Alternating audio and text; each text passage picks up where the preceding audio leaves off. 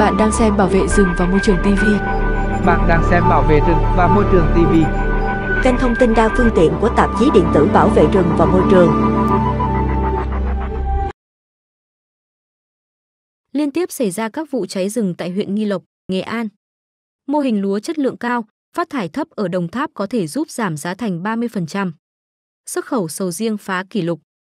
Bộ Công Thương là đầu mối xây dựng và triển khai đề án ứng phó với cơ chế điều chỉnh biên giới carbon.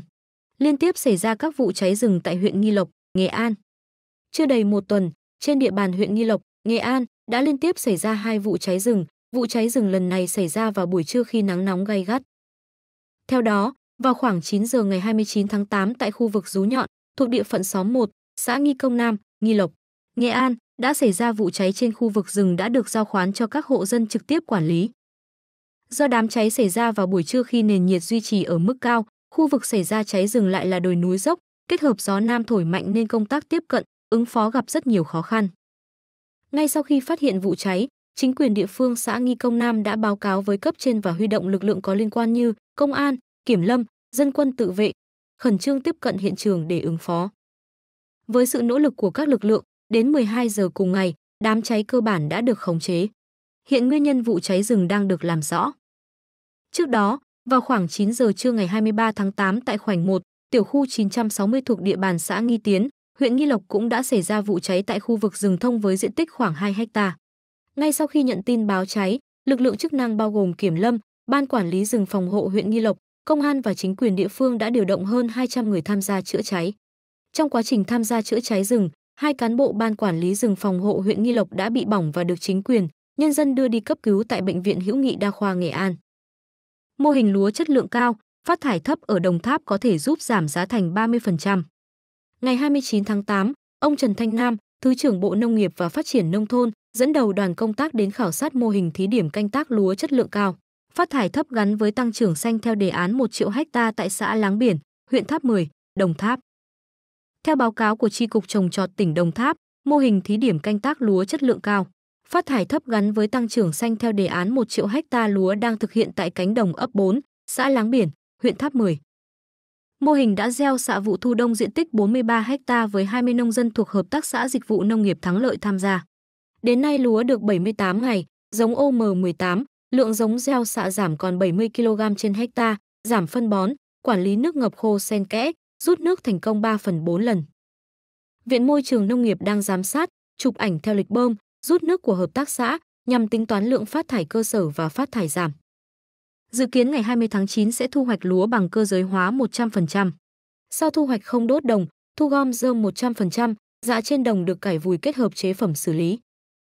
Tuy nhiên còn một số khó khăn như phân vùi không đều, tốn công giảm vá, khó quản lý sâu bệnh, thực hiện rút nước từ 12, 22 ngày sau xạ theo quy trình kỹ thuật chưa phù hợp, do lúa nhỏ, rút nước sớm, nông dân ngại cỏ dại, mùa mưa, gom rơm trên đồng ruộng khó khăn. Ông Nguyễn Văn Hùng, Giám đốc Hợp tác xã Dịch vụ Nông nghiệp Thắng Lợi, cho biết nông dân tham gia mô hình tuân thủ lượng giống, vật tư, phân bón và thực hành ghi chép nhật ký sản xuất trên điện thoại thông minh. Mô hình này chắc ăn giảm giá thành 30% so với ngoài mô hình.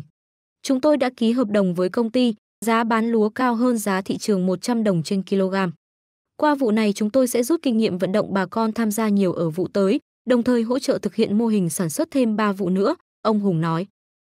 Xuất khẩu sầu riêng phá kỷ lục. Trung Quốc vẫn là thị trường tiêu thụ chính sầu riêng của Việt Nam. Theo số liệu của Tổng cục Hải quan, trong tháng 7, xuất khẩu sầu riêng các loại gồm dạng tươi, đông lạnh, sấy của Việt Nam đạt trên 76.000 tấn, trị giá 280,18 triệu đô la Mỹ, giảm 30,8% về lượng và giảm 30,7% về trị giá so với tháng 6, so với tháng 7 năm 2023 giảm 1,7% về lượng, nhưng tăng 82% về trị giá. Tính chung 7 tháng đầu năm 2024, xuất khẩu sầu riêng các loại đạt 476,13 nghìn tấn, trị giá 1,6 tỷ đô la Mỹ, tăng 50,5% về lượng và tăng 49,4% về trị giá so với cùng kỳ năm ngoái. Con số này tương với 42% tổng kim ngạch xuất khẩu rau quả của Việt Nam trong 7 tháng đầu năm. Theo các đầu mối tại Tây Nguyên năm nay, năm nay, giá sầu riêng tăng cao nhờ nhu cầu mạnh từ thị trường Trung Quốc, đặc biệt là phục vụ lễ hội Trung thu sắp tới. Điều này dự báo kim ngạch xuất khẩu sầu riêng sẽ còn tiếp tục tăng mạnh những tháng cuối năm. Tổng thư ký Hiệp hội Rau quả Việt Nam, Đặng Phúc Nguyên nhận định, đây là một năm bội thu cho ngành sầu riêng, khi giá cả liên tục tăng cao, mang lại lợi nhuận lớn cho nông dân. Đặc biệt, ngày 19 tháng 8, Việt Nam đã ký nghị định thư xuất khẩu sầu riêng đông lạnh sang Trung Quốc, mở ra bước ngoặt mới cho ngành, thúc đẩy phát triển mạnh mẽ.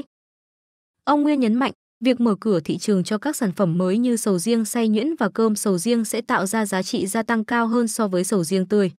Điều này không chỉ giúp đa dạng hóa chế biến, giảm áp lực thu hoạch theo mùa mà còn tận dụng tối đa nguồn nguyên liệu, nhất là với những trái không đạt yêu cầu về mẫu mã. Hiện tại, giá một container sầu riêng đông lạnh vào khoảng 5 đến 6 tỷ đồng. Bộ Nông nghiệp và Phát triển nông thôn dự báo kim ngạch xuất khẩu sầu riêng năm nay đạt 3 đến 3,5 tỷ đô la Mỹ, với sầu riêng đông lạnh khoảng 400 đến 500 triệu đô la Mỹ. Năm ngoái, Việt Nam đã xuất khẩu khoảng 500.000 tấn sầu riêng tươi, trị giá 2,3 tỷ đô la Mỹ, trong đó 90% xuất sang Trung Quốc. Diện tích trồng sầu riêng là 154.000 ha, sản lượng đạt gần 1,2 triệu tấn, với tốc độ tăng trưởng 15% mỗi năm.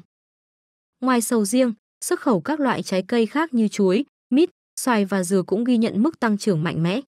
Đặc biệt, việc Trung Quốc mở cửa cho dừa tươi Việt Nam dự kiến tạo ra sự đột biến trong kim ngạch xuất khẩu của loại quả này năm nay. Bộ Công Thương là đầu mối xây dựng và triển khai đề án ứng phó với cơ chế điều chỉnh biên giới carbon. Bộ Công Thương được chính phủ giao là cơ quan đầu mối, chủ trì, phối hợp với các bộ, ngành, cơ quan liên quan xây dựng và triển khai các biện pháp hiệu quả ứng phó với cơ chế điều chỉnh biên giới carbon, bao gồm việc xây dựng và triển khai đề án ứng phó với cơ chế điều chỉnh biên giới carbon.